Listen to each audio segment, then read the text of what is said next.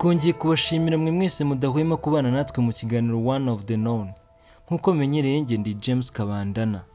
Kora subscribe like ndetse na share kugira ngo ubashe kubana natwe umunsi ku wundi. Ku igihugu bamwita bibi mu gihe abarabu aho bari hose babuze izina rya nyaryo bamuha kubera uburyo bamutinyamo mu karere k'iburasirazuba bwo hagati. Amazina ye yombi yitwa benjamin netanyahu nk'uko yiswe n'ababyeyi be. Akaba kandi umusaza w'imyaka mirongo irindwi n'itanu. Dore ko yavutse mu mwaka w'igihumbi kimwe magana cyenda mirongo ine n'icyenda. Hari tariki makumyabiri n'imwe ukwezi k'ukwa cumi. Yabaye minisitiri w'intebe wa israel igihe kinini. Dore ko ari umwanya amaze y'imyaka isaga cumi n'irindwi. Manda ye ya mbere yitangiye mu mwaka w'igihumbi kimwe magana cyenda mirongo icyenda na gatandatu kugeza mu gihumbi kimwe magana cyenda mirongo icyenda n'icyenda. Iyi manda ntiyaje gukomeza. Yaje kurangira agaruka mu mwaka w'ibihumbi bibiri n'icyenda kugeza mu mwaka w'ibihumbi bibiri na makumyabiri na rimwe. Aza gutorerwa indi mu bihumbi na makumyabiri. Iyi manda ni na yo ari gukoreramo udutenda abarabu ntabwo ari minisitiri w'intebe gusa ahubwo ayoboye n'ishyaka ryitwa Rikad Party aho muri Israel. Benjamin Netanyahu umugabo ucecetse ubundi uvuga ari uko byakomeye. Nk'umusirikare ijambo rye riza ari itegeko. Uyu musaza yavukiye muri Israel nyuma gato y'uko ihawe ubwigenge. Hari nyuma y'intambara ya kabiri y'isi. Benjamin Netanyahu yabyawe n'ababyeyi babiri bose b'abanya Israel. Akurira mu burengerazuba bwa Israel nyuma. Mu mabyiruka ye yaje kujya kuba no kwiga muri leta zunze ubumwe za Amerika. Abayahudi bose batozwa bimwe aho bari hose umurage ni igihugu cyabo. Benjamin Netanyahu yavuye muri leta zunze ubumwe za Amerika yinjira mu gisirikare cya Israel umutwe w'ingabo zirwanira mu kirere.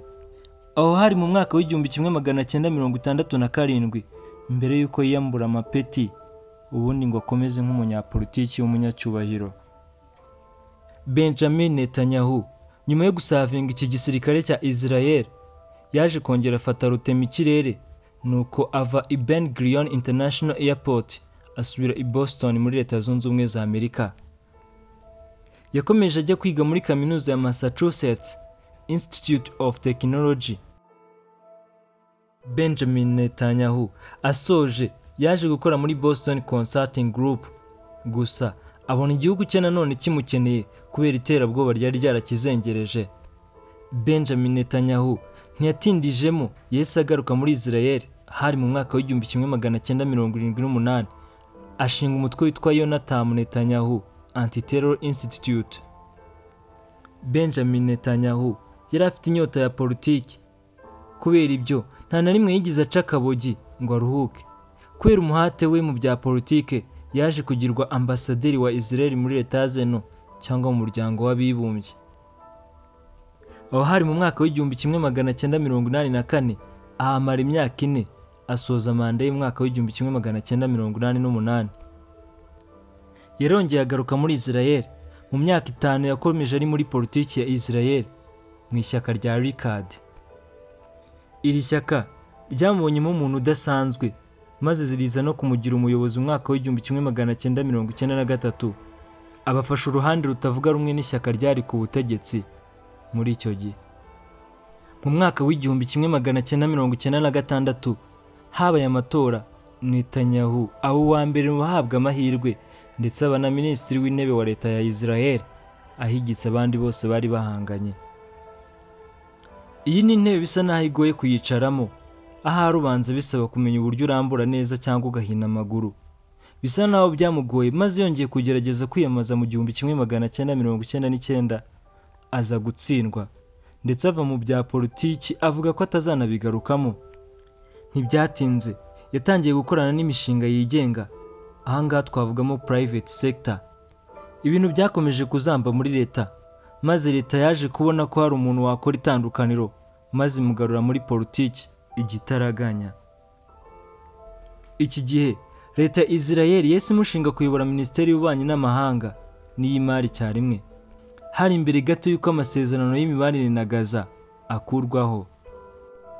Aya mahirwe yo kugaruka muri politiki yayumvise vuba na bwangu maze nawe ayabyaza umusaruro. Aha yahise asubira mu ishyaka rya Rikad mu bihumbi bibiri na gatanu. Anasubira ku mwanya w'ubuyobozi mu bihumbi bibiri na gatandatu. Mu bihumbi bibiri n'icyenda mu kwitegura amatora yahise ashaka irindi shyaka maze ahuza imbaraga na Rikad bituma agira umuvuduko uruta uw'umuyaga nkuba yahise agira umurindi mu ngamba ahamiriza uw'urukatsa arongera atorerwa kuyobora israel bwa kabiri nka minisitiri w'intebe. Benjamin netanyahu ukumubona ni inshuti ya kera na kare ya donald trump uyu mugabo nawe aherutse gutorerwa kuyobora leta zunze ubumwe za amerika ku itariki ya gatanu ukwezi k'ukwa cumi na kumwe ibihumbi bibiri na makumyabiri na kane.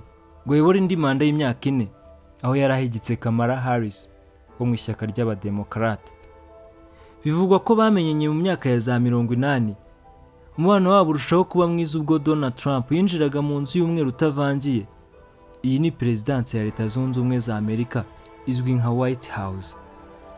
Abantu bazi donald trump bamuzi nk'umukirisitu dore ko no mu kwiyamamaza kwe yakundaga kugaruka ku magambo amwe n'amwe y'uko yeza abakunda ndetse n'imana ikunda amerika ndetse n'iyo asoje akunda gusabira umugisha abantu bose bari bari kumwe.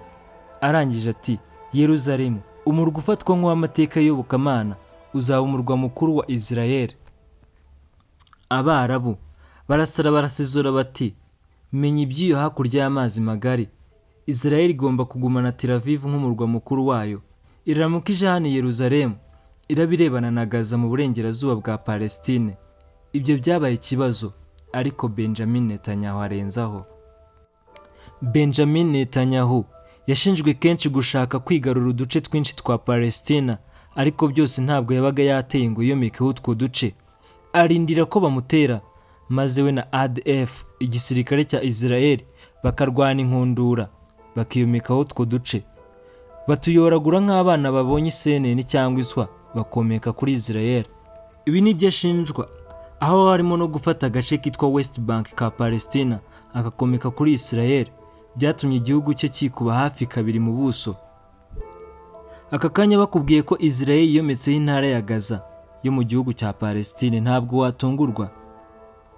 Byose byatangiye bite? Umutwe wa hamas wate israel mu kwezi kwa cumi mu mwaka w'ibihumbi bibiri na makumyabiri na gatatu. Iki gihe waje gufata bugwate abanyayisiraheli benshi ndetse unica abandi utibagiwe gufata ku ngufu abagore nyuma bakabicira mu buvumo bikozwe na hamas. Iki gihe israel yavuze ko izihorera kandi igakubita ahababaza uyu mutwe wa hamas. Umwaka urashize israel umunsi ku wundi honda buri tafari ryubatse umujyi wa gaza. Ahari umujyi uba uhageze ntiwahamenya. Ibyaho hose ni amatongo. Mu itegeko rikomeye cyane abanyayisiraheli bagenderaho bavuga bati we never forget we not forgive. Netanyahu mu ntambara isa naho yafashe indi ntera imitwe nka hamas ayigeze kure asigaje undi witwa hezbollah nawe uri kuryozwa gutera ibisasu biturutse muri iran. Mu butasi bukomeye cyane bwa mossad uyu mutwe wari ushyiraho abayobozi bashya. Kubera ko ugiye wese akorerwa iby'ifundi yakoreye ibivuzo. Mu kwa gatanu umwaka w'ibihumbi bibiri na makumyabiri na kane karim khan ayobora icc ni urukiko mpuzamahanga mpanabyaha rw'irahi mu buholandi. Yavuze ko ashaka kuzafunga netanyahu n'abagize guverinoma ya israel. Ibi bishobora kuzatuma yisanga mu maboko ataraye. Iyi ni one of the known. Njye ndi james kabandana.